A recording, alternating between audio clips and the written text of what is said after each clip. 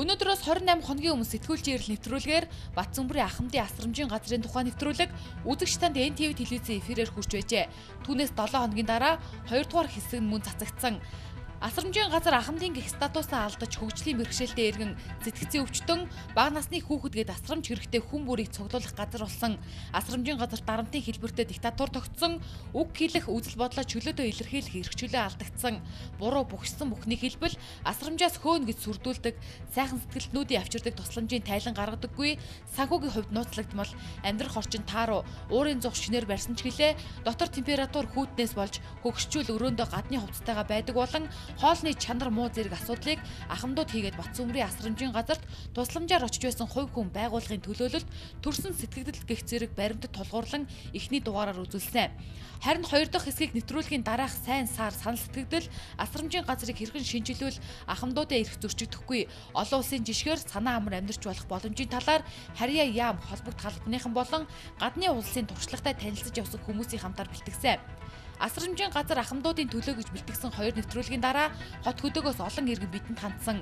Телевизийн 77 тэгтэг 77 77 дугаарын утсанд иргэн Баттулам, Цог Бодрох, Хөдөрч чулуун, Дорж давг нарын хүмүүс хандаж зөв сэдв зоригтой хүнсэн байна. Үр дүнд хүрээрэ гэж урамшуулсан бол Төв аймгаас гэж өөрийгөө танилцуулсан чимэг сүрэн химэх хэмэгтэй мянга төнгөчөө дийлдэхгүй хүнээр орлож байна да. Гэхдээ ард нь гарахыг хүсье гэж сэтгэлдээ хэлжээ. Зөвхөн утсаар биш бичлэн ирж уулзсан үзэгч байла. Харин сэтгүүлч миний утас руу баг өдөр бүр Батцөмрийн асрамжийн газрын тухай мессеж илгээх болсон нэгэн үзэгчийн мэдээллийг энд үзүүлье. Тэрээр өөрийгөө асрамжийн газрын ойр амьдардаг жирийн оршин суугч гэж танилцуулсан.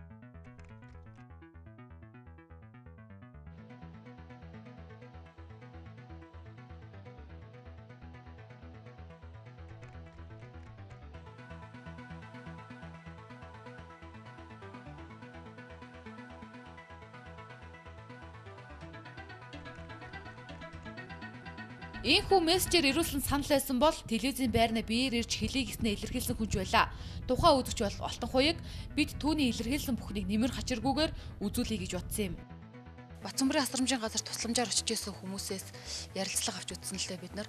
А гэхэд Бацмбарын асрамжийн газар үнэхээр хүний эрх асруулагчийн эрх зөрчигддгөө гэж ярьж исэн. Тэгээ энэ байдлын тухай та дунд нь ажиллаж исэн хүний хувьд ер нь юу гэж хэлэх вэ? А хүний их зэрчгчүүл байна байна байна. Одоо сайдын тушаал шийдвэр 1999 оны сайдын тушаал байдгийг. Асруулагч чөлөө авч явахдаа ямар нэгэн асран хамгаалах хүний батлан даат гэж одоо өргөдлөвчин л да. Энэ хүнд хариуцж авахсаж хэлж байгаа юм. Ийм зөвшөөрөл чөлөө өгч явуулдаг. Тэгвэл 2007 оны үйл юм аа. Хишиг гэдэг өвгөн өндөр настай асруулагч өвгөн чөлөө авч орсон байна. Тэгтэн хин нэгэн хүн хүлээж аваагүй ганцаараа нь явуулсан. Өндөр настай хүн нөө буух буудлаа андуураад 35 өдөр тоолох төр буух хүн чинь наан 47 өдрийн төмөр замын тоолох төр буугаад тэнд осгоод өгчихсөн. Чоожлгээд нэг багш асруулагч байлаа. Тэр хүн босоод үгүй дараагаа манай хурлаа хийж чадхаа болоо юу. Ийм хурал гэж байдаг юм уу? Гэт энэ хүний хорвоогийн эцэг гэсэн. Өдрийн 3 цагийн орчимд хийсэн хурал. Хурал дээр тэгж босоод өөр юм хийж чадаагүй буцаа сандал дээр суугаад шөнийн 02 цагт өнгөрсөн. Тэр хүн дахиж ухаараагүй. Нэг 3 дугаарт нь Төв аймгийн Батсан бүрийн сумаас одоо сумын төвөөс 7 км орчим. А Асрамжийн яг байгаа газараас тэр өөрийнх нь Цэнцэн дараагийн хувийн хашаа байшин уулын мохорд байдаг байхгүй юу? Тэр уулын мохорд байгаа хашаа байшин 17 км орчим. Ийм зайд өндөр настай асруулагчаар хашаа байшин харуулсан. За тэр хашаа байшин харсан өндөр настай асруулагч маань ходоодоо тайруулсан цагаан хоол иддэг. Эмчийн хяналтанд байдаг. Тэр мах хоол гэж асруулагчийг тэнд аваачаад урд нь галт гэдэг нэг асруулагч байсан. Тэрэн дээр авч хоёулаа болоод очсон өдөр нөгөөх нь нэг хавар дөрөв сард та тэр чинь хөрөгч мөс байхгүй орчинд байгаа юм чинь мах муудын шүү дээ. Тийм одоо өнөр болсон махаар хоол хийж өгсөн байдаг. Тэгээ мах нь тэр хоол нь хоёулаа хийж хоёулаа идээд шинэ унтсан. Тэр шөнөөл хордлого авч эхэлсэн. Шүнжэнгөө яргадаж тэр хүн зовж сонсон байдаг. Өглөө сумын төв тэр галт гэдэг хамт байсан асуулчаа явган гүйлгээд буцтай хүнээр дарга руу уцаар явсан байдаг. За тэгэхээр нудлгүй цэнцэнгийн нөхрийн дашцамдаг гэдэг нөхөр их хэмчин тэнд байна. Бага хэмч их хэмч гэж байна. Их хэмч бага хэмчийг удирдах ёстой. Ажлын зарчим шүү дээ. Тэгэхэд одоо их хэмчийг байхад их хэмчтэй хэлэхгүйгээр наагур тэр бага хэмчийг аваад очисон байгаа. Тэр асруулагч дээр. Тэгээ очиод огцсон. Аваагүй. Тэгэл 2 хоногийн дараа тэр хүн асуусан. Намайг хэн хилдэг дээшээ яваад эдэн шүүш олдохгүй гэсэн бүр тэр ноёрхол. Бөө тийм бүр төрцсөн. За тэгээ шалгалт шүлэг ирнэ тэгээ дохоо сигнал авах юм бол тэнд ч өдөр шөнөгүй нэмэр таашснаа дуудаал цэвэрлэгээ үйлчлэгээ. Өнөөдөр хүний амь насыг хятадын 90 мэрэ юмад гоёот дороожоо дэвсээд бодог шумхаар наагаад өнгө царайг оруулсны хүний амь нас нөхөж насыг нөхөж чадах уу? Тэрээр асрамжийн газрын нөхцөл байдлыг сайтар мэдэх хүний нэг гэж өөрийгөө танилцуулсан. Тиймээс бид зарим нэг асуултад түүнээс хариулт авахыг хүслээ. 100-ны мэдээ сонноос нэгэн суулгын шавьчаа тэнд ярьцлах авсан байна. Авсан байна. Бүр дижит дугаан стар үлээ одоо энэ нэг би сайн мэдэхгүй л да тэр нэг өвчтөө өвчүүгүйгээл нэг юм байх байх л да тэр хүний. Ингээд тэрийг бүр баг эмчийн өрөөнд орчихсон хааваа нэгэд ухаа сууж илэр юм лээ. Гэхдээ өөрийнх нь нэр хүндийг сайжруулахын төлөө унахгүй төлөө ингэж зүтгэсэн яагаад тэр нас ороод бие муутайгаа асруулагчийн амнасыг хамгаалахаар наашаа аваад ахаагүй юм бэ? Энд дээр та нар юу боддоо? Түүний хэлсэнчлэн нэвтрүүлгийн дараагаар асрамжийн газрын удирдлагын зүгээс хотоос сонины сэтгүүлч авчирч нийтлэл бичүүлсэн гэхүүгийг бас нэгэн үзэгч бидэнд нотлолоо. Нэрээ хэлж дүрсээ харуулахыг хүсээгүй үзэгч захиа илгээжээ. Захианы утгаас үзвэл бас л нутгийн оршин суугчвалтай тэрээр захианыхаа нэгэн хэсэгт 3 дугаар сар дөнгөж гарсан буюу зурагтаар асрамж гарсны дараа даш дондов хотоос 100-ны мэдээ сониноос сэтгүүлч авчираад өөрийн талын хүмүүсээс ярилцлага ахуулаад буцааж хөргөж өгөөд байж болж байхад яагаад хүний амийг аврах гээд хот руу явсангүй вэ гэж үчижээ хэлжээ. Даш дондов нэртэй хүний захааныхаа бас нэгэн хэсэгт дарга цэнт сүрэнгийн нөхөр гэж тодтогсон байна. Дээрх үзэгчдийн хилээд байгаа машинаараа ирж хотоос аваад буцаад хүргэж өгсөн нэр бүхий сэтгүүлч 100-ны мэдээ сонинд таны харж байгаа нийтлэлийг толилуулжээ. Сонины 4-ний 3 хэмжээтэй гарсан материал 2010 оны 3 дугаар сарын 10-ны дугаарт нийтлэгдсэн байна сайн сар альва мэдээллийг олон нийтэд мэдээлэх үргийнхээ дагуу захидлын анхаарал татсан зарим хэсгээс үзэгч танд одоо дэлгэрүүлье. Хандвар маш их бэлэн мөнгө эд бараа ирдэг, ямар ч хяналтгүй тусгай комисс томилъя. Зарцуулалтыг нийл тод байлгаагээд хүлээж авдаггүй. Энийг хандвыг зөв зарцуулбал төрийн ачаанд маш их нэмэр болох юм шүү гэж захааны нэг хэсэгт бичсэн байна. Мөн энэ байдалд шүүмжлэлтэй хандсан ажилчин жилээс хэтэрдэггүй. Тал талаас нь дарамтлаад өөрөө ирэхгүй хүсэлтэд өгөөдөл гардаг гэжээ. Захидлын энэ хэсгээс үзүүл тус асрамжийн газар ажиллаж байсан үзэгч биднэрүү захиа илгээсэн байх талтай. Өөр нэг хэсэгт Батцөмрийн асрамжийн газрын даргаыг шалгалт ирнэ гэж баахан бэлтгэл цэвэрлэгээ хийлгээд тойрон хүрээлэгч ажилчид асруулагч нараа үг бэлдэж ян том болгоод л ийм байдлаар шалгалтын хүмүүсийг хуурам мэхэлж ирсэн ур чадвартай увдстай нэгэн гэжээ. Мөн өөрийгөө хамгаалуулахаар нийгмийн ажилтнанд жаргалд үүрэг өгч хараатай хараагүй таягтай өндөр наснуудаа нэг нэгээс нь бариулаад ям тамгын газрын үүдэн цогсоочих нь үг зааж өгөөд түүнийг нь харсан хэн боловч өөрийн ирэхгүй өрөвдөх сэтгэл төрнө гэжээ. Бас нэгэн хэсэгтээ үнэн юм гэж байна уу? Асрамжид ярилцлага өгсөн болгон асруулагч болгон сэтгэл зүйн гажигтай биш шүүмжилсэн болгоныг цагаан солиотой гэдэг туршилтай одоо дид сайд ирнэ гэд хагас бүтэн сайнгүй засвар хийсэн үзмжээр өөрийгөө авч гарах ажлаа хийж байна гэжээ. Түүний хэлж байгаа ярилцлага өгсөн хүнийг цагаан солиотой сэтгэл зүйн гажигтай гэдэг гэж бичсэн нь бидний нэвтрүүлгийн анхны дугаарт ярилцлага өгсөн дижитгуайн тухай өгүүлсэн бололтой. Дижитгуайг бид сэтгцэн өвчтэй гэж бодож зүрхлэхгүй гэдгээ өнгөрсөн дугаараар тодорхой мэдгдсэн. Тэгвэл захааны эзэн бас энэ асуудалд хариу өгсөн нь нажээ. Нөгөө төгөөр бичлэн гэрж үзэл бодлоо илэрхийлсэн алтан хуйгаас бид энэ талаар тодруулсан юм. Учир нь тэрээр асрамжийн газарт ажиллаж байх үеэсээ дижитгуайг мэддэг юм билээ. Нэвтрүүлгийн дараа дижитгуайг сэтгэл мэдрэлийн өвчтөй, сэтгэл мэдрэлийн өвчтөй хүнээс яриа авчгаад явлаа гэд асрамжийн газрын удирдлагын зүгээс нилээдгүү яриа өрнүүлжлээсэн л да. А тэгэхээр та дижитгуайг мэдэх хүний хувьд дижитгуай ер нь үнэхээр сэтгэл мэдрэлийн өвчтөй хүн муу юм уу? Дижитгуай хувьд бол би өвчтөйг хэлэхгүй. Дижитгуай зөрчил дутагдлын хажуугаар шууд гараад явж чадахгүй хүн билээ. Тэр хүмүүжил тэр нас намб үннийг л хэлдэг хүн гэж би үздэг. Намаа байхын ч асуудалгаа надад л орж ирдэг. Ингээд байна, тэгээд байна. Би сураг дууссан. Дижитал яриа өгсөн. Дижитал телевизээр яснаас дараа дижиталтай харьцаа ямар болсон бэ? Улсуудын харьцаж байгаа дуу хоолой өнгө айс өөр л болсон гэлээ. Тэгж хүний дарамт болохгүй. Тийм учраас би утсан. Тэр чинь одоо хэдэн хүнийг л би болгочдөг. Ерөөс хэдэн ажилчин хэдэн асруулагчийг үг заагаад тэр хэдэл хэлнэ энэ дүр засаг одоо энэ иймэрхүү ингээд нэг ая тал бодоход баг тийм ээ. Халагдлаа гэж бодоход дараа нь асуухтал жинхэнэ энэ хүний үнийн чанар нүүр царайг хэлэх ажилчид тэмцэндөө. Одоо л хэлж чадахгүй. Загтал илгээсэн үзэгч миний биеийн энэ мэдээлэлдээ буруу ташаа асуудал тавьсан бол хуулийн өмнө хариуцлага хүлээх болно гэж мэдэгдэжээ. Хариуцлага би хүлээн. Би цэмцэн даргаыг гүчирдсэн, гүтгсэн асуудал байвал хуулийн өмнө би хариуцлага хүлээн. Тэр миний үүрэгтэй би үнийг хүчирсэн бол дутагдлаа болсон хүн дутагдлаа одоо дүгнэлт хийх ёстой юм чинь. Нэвтрүүлгийн дараа бидэнд хандсан өөр нэг хүн бол асруулагч Дижитуан Төрсөндөө. Тэрээр эгчигээ ясны дутагдлын хажуугаар дуугүй өнгөрч чаддаггүй хүн гэдгийг олон нийтэд мэдгэдгийг хүссэн гэлээ. Нэвтрүүлгийн эхний дугаарын дараагаар Дижитуаг сэтгцийн өвчтэй гэж асрамжийн газрын зүгээс хэлж байсанд тэрээр ихэд гомдолтой байгаагаа хэлсэн юм. Юм бол өглөө одоо ингээл ийм хоёрхан зүсэд талах. Хоёрхан хадлага элсэж хөрөж байгаа. Энэ бурхны наманд хэлдэг юм байдаг. Өнгөрсөн өдрөө бүүсэхэ. Ахиж битгий уулаа ахиж битгий гуня. Урд бодсондоо мартаа гэдэг нь мартна. Бид сайхан байж ах чинь нэг нэг солиотой хүний үгээр үг болгоод нэвтрүүлэг хийгээд орон дээр засна гэдэг чинь бидний нэр сүрэнд ямар байх? Миний их сэтгэл мэдрэлийн өвчтэй биш ээ. Харин тэг доромжилсан байлээ. Миний ихч тэр хэрэг уулзтаа захын доктор гэрчээс ахуулаад совлогч хийж ягаад хамгийн сүүлдэн тэр сэтгэл мэдрэлийн больницаас тэтгүүртээ гарсан. Та нар өстой энэ нэгэн зүгийг мэдээ гэж явал сэтгэл мэдрэлийн больниц дээр очиад үзсэн ч болно. Хүнийг тэгж хитрхийх доромжлох би гомдож байна. Найдан 90 90 99 04 96 01 гэдэг утсаар нэг хүн утастаад кино шалгахаас шалгалтаар очлоо. Тана эгч ясрах хүнтэй юм байна. Энийг одоо эндээс хөөлөө гэсэн. Тэгэхээр би урдаас нь ардын кино шалгах газар гэдэг чинь өвчтний кино шалгаад хөөхийг хөөдөг юм уу? Ажилчны кино шалгах ёстой даа гэсэн. Тэгээ чимээгүй болсон. Тэрээр охиноосоо нуугдж гараад биднийг зорио ирсэн нь нажээ.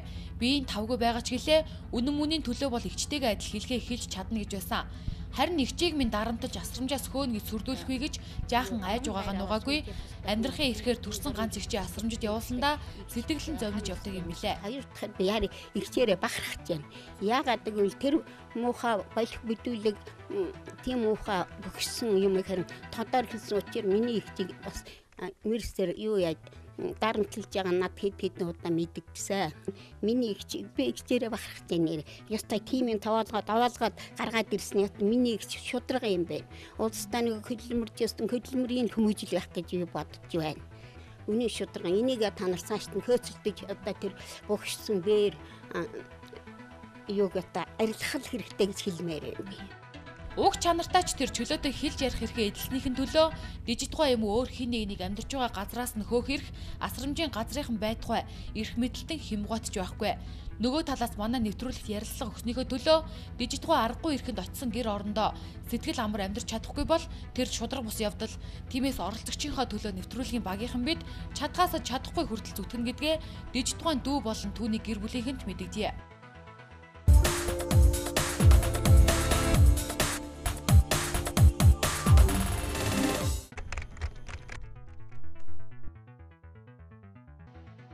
Нийгмийн хамгаалалт хөдөлмөрийн яамнаас томилогдсон ажлын хэсэг 2009 оны 5 дугаар сарын 18-наас 22-ны өдрүүдэд Батцөмрийн ахмадын асрамжийн газарт ажиллаж тус шалгалтыг явуулжээ.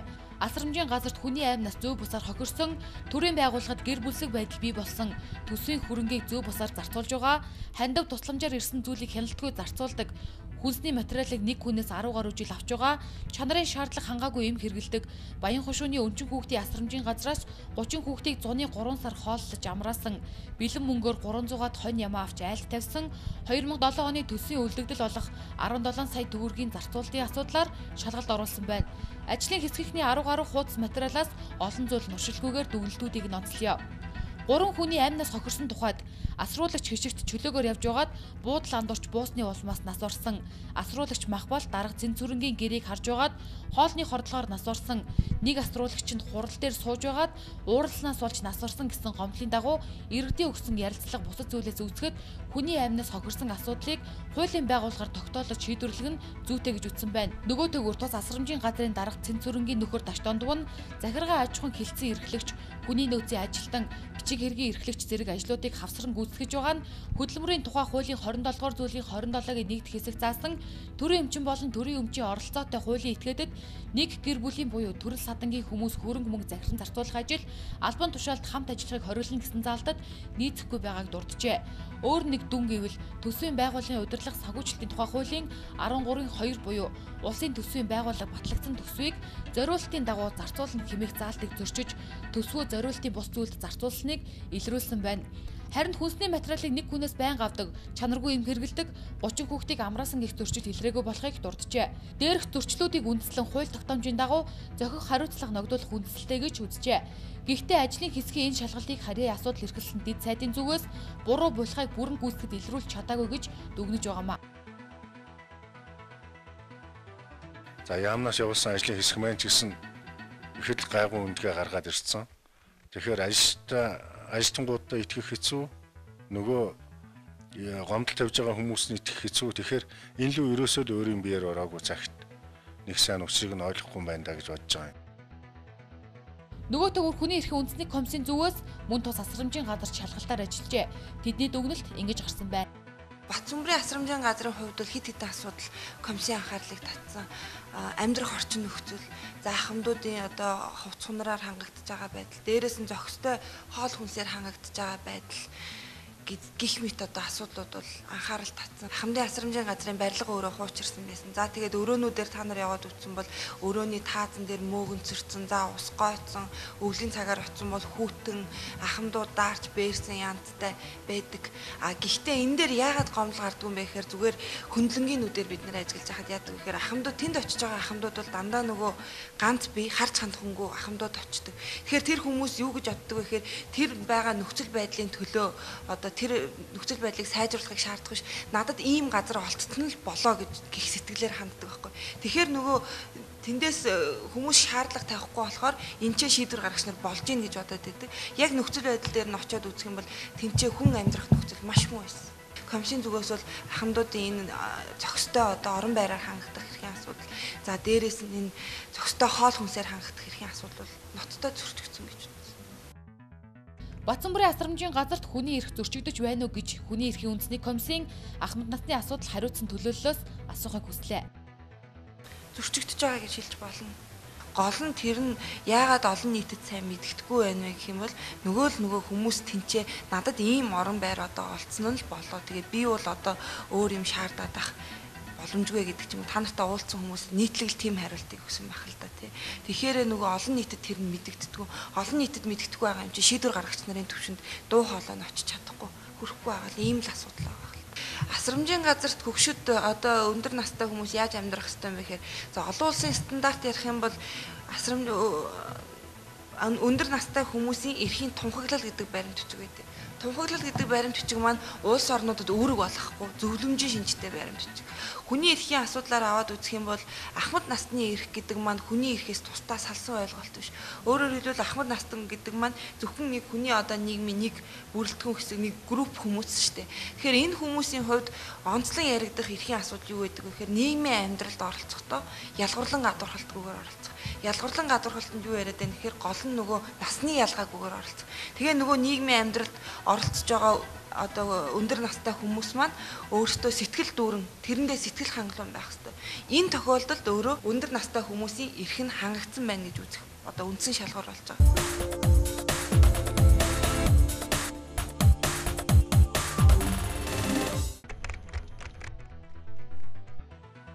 Нэвтрүүлэг гарснаас хойш сар орчим хугацаа өнгөрчөөд байна. Яамны зүгээс нүдэнд харагдаж гарт баригдах ямар нэгэн алхам хийж харагдахгүй хിവэр. Бид нар энийг сайдын зөвлөлийн хурал дээр нөгөө танаа мэдээлэл ирсний дараа сайд бас мэдээлэл авсан байсан. Тэгээд өмнө нь бид нар шалгалт оруулсан. Энэ шалгалтыг бод манай санхүү эдийн засгийн хэлцээний дарга толгойлоод орсон. Тэгээд сайдын зүгээс санхүү эдийн засгийн хэлцээний даргад энэ асуудлыг дахиж судлаад оруулаад ир. А хоёрдугаарт агентлагийн дарга санхүү эдийн засгийн хэлцээний дарга хоёр үүрэг өгсөн байгаа. Энд юу болоод байгааг асуудлыг нь дахиад сайдын зөвлөлийн хуралд оруулж иргэ үр өгсөн байгаа. А энэний дараа сайд сайдын зөвлөлт хурал зөвлөлийн хуралд ороод энэ үнэхээр асуудал үүссэн байна, энд иймэрхүү байдалтай байна гэдэг бид мэдээлэл их авсны дараа тэндээс шийд гарна.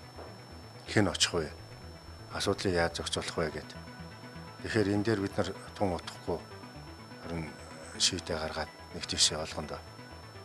Тэгэхээр сайтын зөвлөлийн хурал дээр энэ ихэж эргэж хэвээр өмнөх шалгалтаас юу болсон юм? Одоогийн энэ мэдээллүүд нь юу болчиход байгаа юм. Аа саяхан тэр өөрийнхөө одоо өөрийн зохны асуудал гэдгийг шийдвэрсэн. Тэгээд болчихжсэн үү? дахиад юм нийгмийн асуудал тулцсан байгаа дээр яагаад арга хэмжээ аваагүй юу болсон байна. Эхлээд өөрийнхөө хүмүүсийн тэр асуудлыг бид нэр эхэлж эндээ ярих хэрэгтэй болж байна. Тэгээд цаашаа одоо дараа нь тэнд ямар арга хэмжээ авах вэ? Энэ тал дээр бол би өөрөө эхлээд тэр юугийн дуудаж уулзах гэсэн малтай байна. Тэр асамжийн газрын даргаыг дуудаж байгаад эхлээд өөрөөс нь тайлбар авна. Бүх талаас нь тайлбар аваад мэдээлэлээ сайн цуглуулж байгаад хуучин шалгалтын үр дүн юу болсон тэргээ судалж байгаад ингээд орно. Халамжийн дарга санхүү эзэн засгийн хэлцээний дарга хоёр төгрөг өгсөн байгаа. Энэ хоёр дүгэлтэй гаргаад ирнэ. Тэрний дараа явна гэсэн үг. Харин энэ хугацаанд Батцүмбрийн асрамжийн газрын зүгээс төр хороо хүртэл байгуулж ахмадуудыг дайчлаад дараа дараагийн явуул гарах хэмжээгээ нарийн гिचэн тооцоолчихсон байгаа. Түр хорооных нь нийгмийн хамгаалал хөдөлмөрийн яамны үүдэн төлөвлөлтөнд зарлана гэж хүртэл мэдгдсэн нь би. Дээрээс нь асрамжийн газрын байдалтай газар дээр нь танилцсан гэж дид сайд урд урдны дугаараар мэдгдсэн даруйд засвар цэвэрлэгээ хийгээд эхэлчихсэн гэж үзэгч захаанда бичсэнийг дээргүүлсэн. Зарим хүмүүс хэлж байгаагаар болохоор тэр бол ингээд дархлагдсан хүн байдгаа гэж ярьж байгаа байхгүй. Үнэхээр дархлагдсан асрамжийн газар юм уу? Үнэхээр дийлхэ байлчихсан асрамжийн газар юм уу? Яамны зүгээс. Дархлагдсан гэж хэлж болохгүй л дээ. Ерөөсөө дархлагдсан газар гэж байхгүй тухайн үедээ Эрдэнэт хүртэл дархлагдсан газар гээл вант тулс гээл эргэжсэн. А тэр өмчөө хорооны дарга энх болд очоод тэр өмчөө мэддэг юм а гээл тэр том хүмүүсээс улаагаад авчаал үстэй. Тэгээ тэр тэр өөрөө шийдэх үе мэднэ. Эцээч хариуцлагад оцч чадна. Юм оройтхгүй. Асрамжийн газрын тухайд нэн тэргуун шийдвэрлэх шаардлагатай асуудлын нэг бол хөгжлийн бэрхшээлтэй иргэн сэтгцийн өвчтөй болон ахмад настан хүүхдүүдийг тусгаарлах явдал юм. Энэ бол цэвэр яам хийгээд хөдөлмөр халамжийн үйлчлэгээний газрынхны хариуц ёстой ажил. Энэ улсын асрамжийн газруудыг төрөлжүүлэх ёстой. Төвлөрсөн байлаас нь задал төрөлжүүлэе гэдэг ийм л ажил явж байгаа л да Батсүмбэрийг төрөлжүүлэх ёстой. Хэрвээ энийг одоо төрөлжүүлэх юм бол хөрөнгө хэрэгтэй. Байр сав хэрэгтэй. Тэр нь байхгүй. Тэгээ энэ хүмүүсийг чи одоо ямар хөвөө гаргачлалтай юм биш. Тэгэхээр одоо та нар хэлж байгаа л үнэ. Энэ бол одоо хуучны социализмын үеийн тэр хэв заагвар арга барилаар хэвээр яв. Одоо хуарангийн маягтай. Нэг л одоо газар бүгдийг авчиж чихсэн. За тэнд бол одоо хэвтрийн хүн төвчтэй ахмадууд байна. А зүгээр ахмадууд ч байна, тэнхлүү ахмадууд ч байна. За хөгжлийн бэрхшээлтэй одоо иргэдч байна. Их одоо хүнд согогтой иргэдч байна За мөн сэтгэл мэдрэлийн өвчтөй хүмүүс байна, хүүхдүүд байна. Энэ бүх хүмүүсийг нэг газар байлгах гэдэг бол өөр одоогийн байдлаар бол боломжгүй байгаа юм л да. Ашиг сонирхлын чөрчлүүд байна.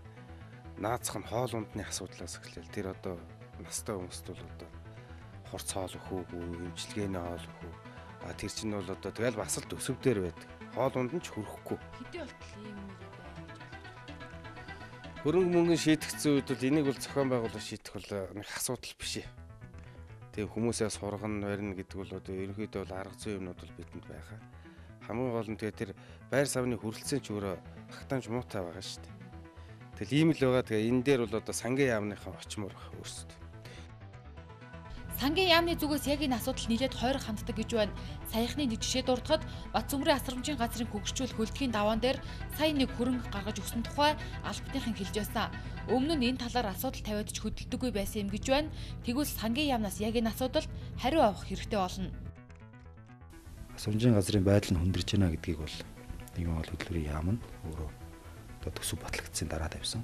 Тэгэхээр нэгэнт төсөв гэдэг нь өөрөө хуулиар батлагддаг хэрэгжүүлэх үүрэгтэй хэцүү багт. Тэгэхээр хууль нь тусгагдаагүй бол бид нар хийж болох боломжтой байхгүй. А тэгэхээр үнэхээр нөхцөл байдал нь тийм байгааг харгалзаж үзээд аа засгийн газрын нөөцсөн тэгээд улсын төсвөөс зээл болох маягаар асамжны газрын асуудлыг шийдсэн байгаа. Төсвийн байгууллага өдөртөө сонгогчдын хуулийнхаа зарчмын дагуу л салбарын сайд нар нь өөрийн одоо эрхлэх асуудлынхаа хүрээнд төсвийн өрөөний мэдээлэл заасан дээр хязгаарлалтанд багтаагаад бодлого чиглэл хэрэгжүүл гарах хэмжээ тодорхойлж орж ирэх ёстой. За нэгэнт э, улсын төсвийн орлого маань өөрөө хязгаарлагдсан учраас тэр ногдож байгаа хэсэгтээ орж байгаа орлоготой ямар бодлого хэрэгжүүлэх вэ? Аль нь илүү тэргуун зэрэг ач холбогдолтой вэ гэдгийг бас албарын яам нь өөрөө тодорхойлж гарах хэрэгтэй. Тэгэхээр э, сангийн яамны зүгээс төсвүүдээр хийдэг хамгийн гол ажил бол төсвийг одоо нийт багцаар нь хичнээн бүрний орлоготой байх уу, зарлагтай байх уу гэдгийг тодорхойлоод салбарын яамдаас орж ирсэн саналыг тэр багцтай багтаасан хязгаартаа багтаж гин үгүй юу? За дотор нь байгаа зүйлс нь одоо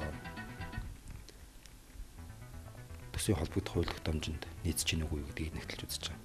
Тэгэхээр Батцэрмбрийн улсын асрамжийн газрын хувьд бол салбарын яам нь өөрөө одоо бодлого чиглэлээ тодорхойлоод тэн хэрэгжүүлэх арга хэмжээг тодорхойлж төсөв дотор багтааж хэрэгжүүлэх үүрэгтэй. Яг одоогийн байдлаар Батцэмрийн асрамжийн газарт одоо ахмад хүмүүс байна. Дээрээс нь хөгжлийн мэрэгшээлтэй, сэтгэл мэдрэлийн өвчтэй хүүхдүүд гэд янз бүр хүмүүс байгаа байхгүй юу? Асрамжийн газрыг төрөлжүүлэхэд мэдээж байшин барилга барих бас л төсөв санхүү хэрэгтэй тийм ээ. Тэгэхээр харьяа яамныхын зүгээс яг энэ талаараа төсвөл хөтөлбөрөө боловсруулад ирэх юм бол сангийн яамнаас зарлага гаргахад бэлэн гэж ойлгож болох юм байна. Бэллэж тавын болно. Аа багтаасан хязгаар дотор багтаагаад бодлогоо хэрэгжүүлэх гарах хэмжээгээ чиглэлээ тодорхойлох эрх аа салбарын асуудал эрхэлсэн яамд.